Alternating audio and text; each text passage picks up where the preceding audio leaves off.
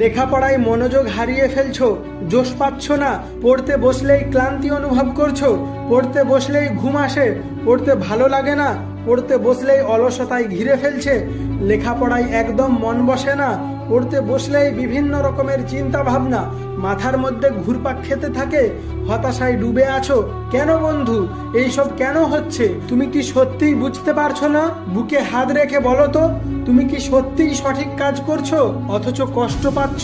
এমনটা তোমার সাথে হচ্ছে? নাকি তুমি সময়কে সঠিকভাবে ব্যবহার করতে পারছ না বলেই আজকে তোমাকে হতাশায় ভুগতে হচ্ছে? তাই ঠিকঠাক লেখাপড়া করতে পারছ না। হয়তো পড়তে বসছো, কিন্তু পড়ার মতো পড়তে পারছ না, মন দিয়ে পড়তে পারছ না, পড়তে বসলেই বিভিন্ন রকমের সমস্যায় ঘিরে ধরছে। কেন সমস্যায় ঘিরে ধরবে না? তুমি স্বপ্ন দেখছ বড় বড়, আর পরিশ্রমের বেলায় বিভিন্ন উপায়ে সময় নষ্ট করে চলেছো। নিজের আবেগকে খারাপ জায়গায় নষ্ট করে ফেলছো। যদি আবেগকে স্বপ্ন পূরণ করার জায়গায় কাজে লাগাতে পারতে, তাহলে আর অলসতা আসতো না। তাহলে পড়তে বসলে আর ঘুম আসতো না, ক্লান্তি অনুভব হতো না, বরং নিজের স্বপ্নকে সত্যি করার জন্য সঠিকভাবে পরিশ্রম করতে পারতে। প্রতিদিন একটা নির্দিষ্ট টার্গেট ঠিক করতে হবে, আর সেই টার্গেট পূরণ করার জন্য জান লাগিয়ে দিতে হবে, মন দিয়ে লেখাপড়া করতে হবে। তোমার লেখাপড়া নিয়ে, তোমাকে নিয়ে, তোমার পিতা মাতার কত স্বপ্ন বলো তো? আর তাদের স্বপ্নগুলোকে তুমি এইভাবে নষ্ট করে ফেলছো বন্ধু?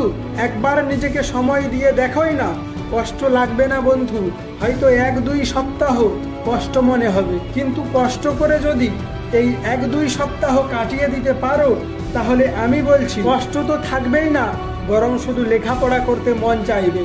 তখন সময় নষ্ট করতে কষ্ট লাগবে। তখন মনে হবে, আমাকে পড়তে হবে, আমাকে ভালো কিছু অর্জন করতে হবে। পিতামাতার মুখে হাসি ফুটিয়ে তুলতে হবে।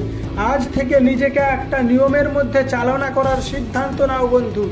নিজেকে ভালো পথে নিয়ে যাওয়ার সিদ্ধান্ত নাও। শুধু শুধুই সময় অপচয় করার থেকে বিরতি নেওয়ার সিদ্ধান্ত নাও। নিজেকে বলো, আমি আজ থেকেই নিজেকে তৈরি করব। নিজের মনকে জিজ্ঞেস করো, তুমি কেন পড়বে? তুমি কি হতে চাও? এবং একটা লক্ষ্য ঠিক করো। তবেই তো সেই মতো এগিয়ে যেতে পারবে। এই ভিডিওটা দেখা শেষ হয়ে গেলে তুমি একবার শান্ত মনে নিজেকে নিয়ে চিন্তা করো। দেখো, তুমি যদি সঠিকভাবে লেখাপড়া করে তোমার স্বপ্ন সত্যি করতে পারো, তাহলে তুমি নিজে কতটা গর্ববোধ করবে?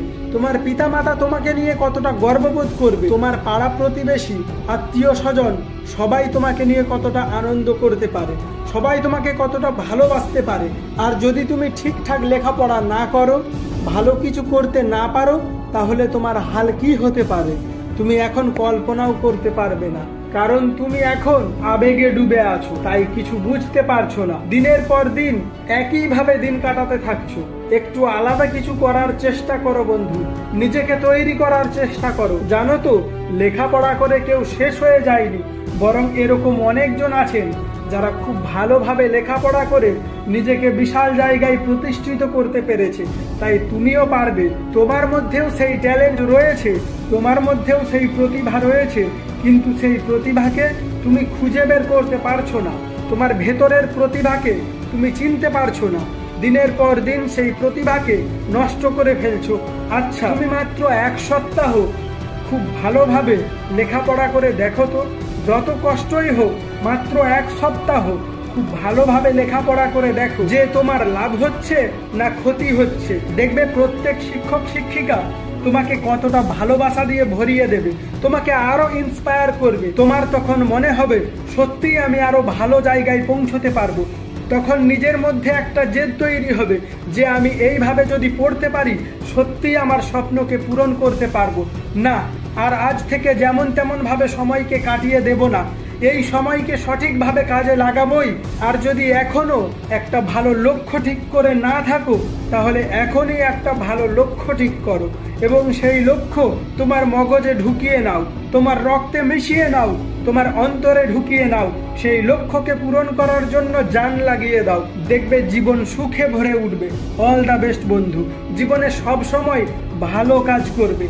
সুস্থ থাকবে, ভালো থাকার চেষ্টা করবে, সবাইকে ভালো রাখার চেষ্টা করবে। আর হ্যাঁ বন্ধুরা, ভিডিওটি কেমন লাগল অবশ্যই কমেন্ট করে জানিও।